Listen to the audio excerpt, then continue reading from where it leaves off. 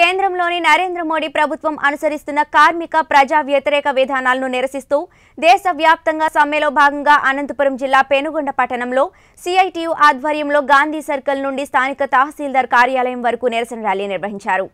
ఈ సందర్భంగా సిపిఎం దక్షిణ ప్రాంత జిల్లా కార్యదర్శి ఇంతియాజ్ మాట్లాడుతూ కార్మిక వ్యతిరేక చట్టాలను రద్దు చేయాలని ప్రభుత్వ సంస్థలను ప్రైవేటీకరణ ఆపాలని కనీస వేతనాలు ఆహార భద్రత ప్రజలకు ఆదాయ మద్దతు ఉపాధి కల్పన రైతు వ్యతిరేక మూడు బిల్లులను వెంటనే ఆపాలని ఈ సందర్భంగా డిమాండ్ చేశారు. కార్మికుల హక్కులను కాలరాశైలో తెచ్చిన విధానాలను కార్పొరేట్ శక్తులకు అనుకూలంగా తెచ్చిన వ్యవసాయ బిల్లులు బ్యాంకులు బీమా సంస్థలు ప్రభుత్వ రంగ సంస్థలను నిర్వీర్యం చేసే నిర్ణయాలను పన్నెండు గంటల పని విధానాలను నూతన విద్యుత్ బిల్లును వెంటనే ఉపసంహరించుకోవాలని కోరారు. బీజేపీ వినాశకర విధానాలతో కార్పొరేట్ కంపెనీలకు పన్ను రాయితీ ఇచ్చి ప్రజలపై భారాలు వేస్తుందన్నారు. అనంతరం స్థానిక తహసీల్దార్ కార్యాలయంలో డిప్యూటీ తహసీల్దార్కి వినతి పత్రం అందజేశారు. ఈ కార్యక్రమంలో సిఐటియు జిల్లా కార్యదర్శి రమేష్ సిఐటియు మండల కార్యదర్శి బాబావలి హమాలి యూనియన్ నాయకులు పంచాయతీ కార్మికులు అంగన్వాడీ కార్యకర్తలు పలు సంఘాల నాయకులు పాల్గొన్నారు.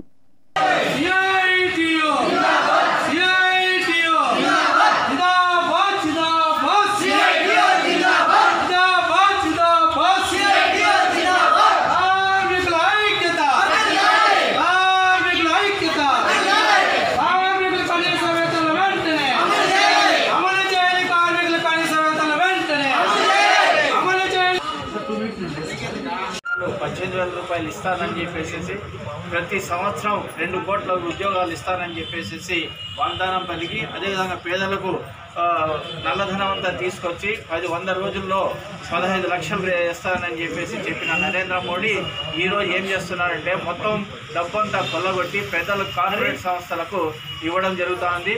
ప్రధానంగా ఈరోజు రైల్వేస్ను కూడా ప్రైవేట్ పరం చేస్తున్నారు. ఒక పోలీస్ హోంశాఖ మినహా మిగతా అన్నీ కూడా ప్రైవేట్ పరం చేయడానికి సిద్ధమైనారు. అందుకని ఈ ప్రైవేటీకరణ వల్ల వాళ్ళు చెప్పేది ఏమంటే ప్రైవేటీకరణ వల్ల మీ ఇష్టం వచ్చిన జీతాలు ఇవ్వచ్చు హైర్ అండ్ ఫైర్ మీ ఇష్టం వచ్చినప్పుడు నియమించుకోవచ్చు. మీ ఇష్టం వచ్చినట్లు ఇది వచ్చినప్పుడు పంపించవచ్చు అని చెప్పే పద్ధతుల్లో ఈరోజు నలభై నాలుగు కార్మిక చట్టాలన్నీ గుదించి నాలుగు చట్టాల కింద చేస్తున్నారు. ఈ కేంద్ర ప్రభుత్వం ఆ రకంగా కార్మికులను మరొకసారి బానిసలుగా మార్చడానికి ప్రయత్నం చేస్తూ ఉంది. మనకు తెలుసు కార్మిక వర్గంగా భారతదేశంలో కార్మిక వర్గం ఎనిమిది గంటల పని విధానం కోసం బ్రిటిష్ కాలంలోనే పోరాడి ఎనిమిది గంటల పని విధానం సాధించుకున్నాడు. అనేక హక్కులు సాధించుకున్నారు ఆ హక్కుల సాధన నేపథ్యంలోనే ఆ హక్కులను కాలరాయడానికి ఈరోజు కేంద్ర ప్రభుత్వం ప్రయత్నం చేస్తుంది.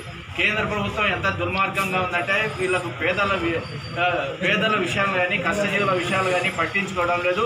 వీళ్ళకి ఎవరు ఎవరు అంటే అదాని అంబానీ తర్వాత విజయ్ మాల్యా ఇట్లాంటి వాళ్ళందరూ కూడా వాళ్ళ వాళ్ళ సంక్షేమం చూస్తూ ఉంది పేదల సంక్షేమం చే- చేయడం లేదు. చెప్పిందేమంటే సబ్కా సాత్ సబ్కా వికాస్ సబ్కా విశ్వాస్ అని నరేంద్ర మోడీ చెప్పినాడు. అంటే సబ్కా అందరితో కలిసి అందరి అభివృద్ధి కోసం అందరి విశ్వాసం పొందడానికి కోసం నేను పనిచేస్తానన్న నరేంద్ర మోడీ ఎంత దుర్మార్గంగా వ్యవహరిస్తున్నారంటే వాళ్ళ ఉత్తరప్రదేశ్ ప్రభుత్వం వాళ్ళ ఉత్తరప్రదేశ్ ప్రభుత్వంలో ఉన్న ఉత్తరప్రదేశ్ మా ఏది? ఉత్తరప్రదేశ్ ప్రభుత్వంలో ఒక అమ్మాయికు రేప్ చేసిన నలుగురిని పొలం పని పోయింటే ఒక అమ్మాయికి రేప్ చేసినారు నలుగురు. ఆ అమ్మాయి సాక్ష్యం చెప్తుందని నాలుగు వచ్చినారు మెడల్ తిప్పినారు.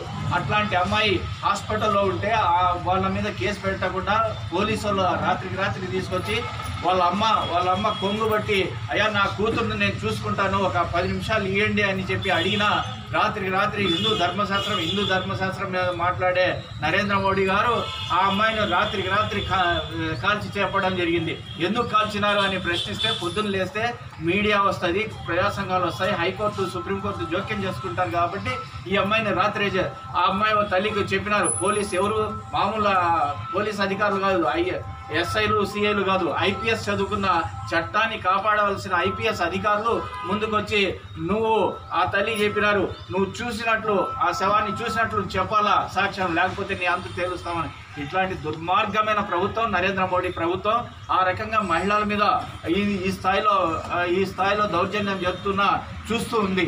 అందుకని ఈ ప్రభుత్వం పట్ల ఈరోజు ప్రభుత్వం పక్కనున్న జీడి బంగ్లాదేశ్ జీడిపి ప్లస్ ఐదు శాతంలో ఉంటే మన జీడిపి పది పాయింట్ మైనస్ పది పాయింట్ రెండు శాతంలో ఉంది.